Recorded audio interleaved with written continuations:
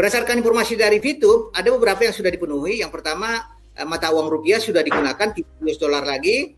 Kemudian servernya juga sudah Indonesia dan komunitasnya sudah tertibkan. Dan dua lagi ini tidak ada referral dan tidak jual beli poin ini, mereka sudah menyampaikan juga surat kemarin ke Satgas Investasi uh, mengenai dua hal ini dan kami akan melakukan penelitian tentunya. Apabila mereka sudah melakukan kegiatan uh, sesuai dengan arah SWI, tidak ada money game di sana, ya, ya. mungkin bisa direalisasi, tapi harus sesuai dengan uh, ketentuan perizinan dan juga uh, tidak ada uh, skema piramida di sana.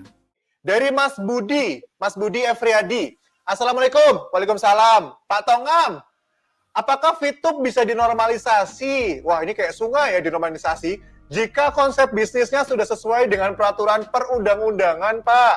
Karena hanya ada dua persyaratan lagi yang belum terpenuhi. Nah, gimana tuh Pak Tongam? Iya, uh, seperti kami sampaikan tadi, uh, dinormalisasi bukan naturalisasi ya. normalisasi, uh, dinormalisasi bisa saja. Jadi Nah, ini juga perlu disampaikan kepada masyarakat bahwa Satgas Waspada Investasi dan pemerintah mendorong sebenarnya kegiatan-kegiatan yang memberikan kontribusi pada perekonomian Indonesia.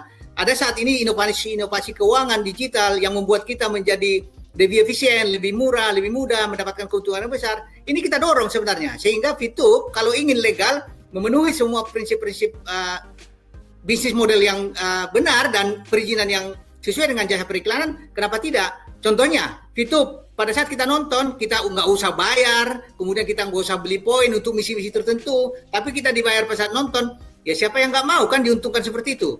Nah itu yang penting. Jadi kontribusi dari perusahaan ini kalau dia menguntungkan secara ekonomi dan ada perlindungan masyarakat, wah ini penting sekali bagi kita untuk normalisasi. Itu sebenarnya. Siap. Terima kasih Pak Tongam. Jadi itu bisa ya guys, uh, apa pentingnya normalisasi itu.